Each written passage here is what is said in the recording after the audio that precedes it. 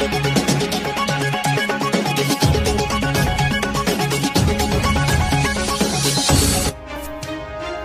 मध्य प्रदेश में माध्यमिक शिक्षा मंडल मध्य प्रदेश भोपाल द्वारा कक्षा दसवीं 2020 का परीक्षा परिणाम 4 जुलाई को घोषित किया गया।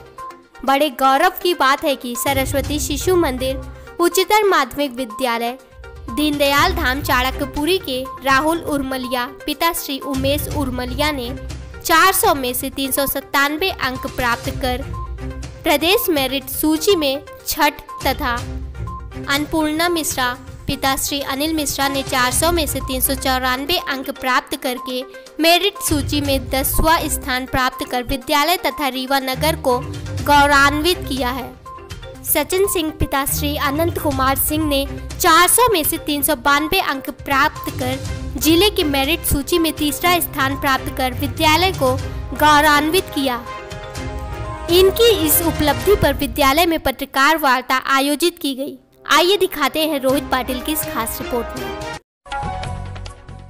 मिश्रा जी आपने जब टॉप किया दसवीं में क्या आपको मालूम था कि मैं टॉप कर पाऊँगा?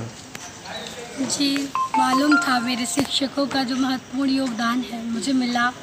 वो सिर्फ़ मेरी वजह से नहीं मेरे शिक्षकों का बहुत बड़ा योगदान है इसमें। अब ग्यारहवीं में जाएँगी फिर उसके बाद बारहवीं आप टेस्ट देंगी बारहवीं बोर्ड रहेगा। तो आप क्या बनना चाहते हैं? मैं इंजीनियरिंग करूँगी मैथ्स लेंगी एक गाँव से आती है यहाँ से दस बारह किलोमीटर दूर से। चुराटी हैं? वकील हैं आप।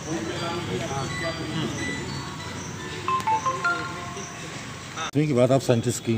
तैयारी करने इसके पहले क्या आपने एग्ज़ाम जब दिया और तैयारी की क्या आपको लगा था कि मैं मेरिट में आऊँगा?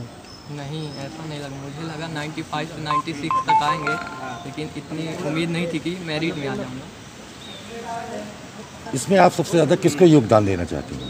इसमें मेरे आचार्य जनों को और मम्मी पापा का और मैं यूट्यूब से भी कुछ वीडियो देख के पढ़ता था तो उनका भी।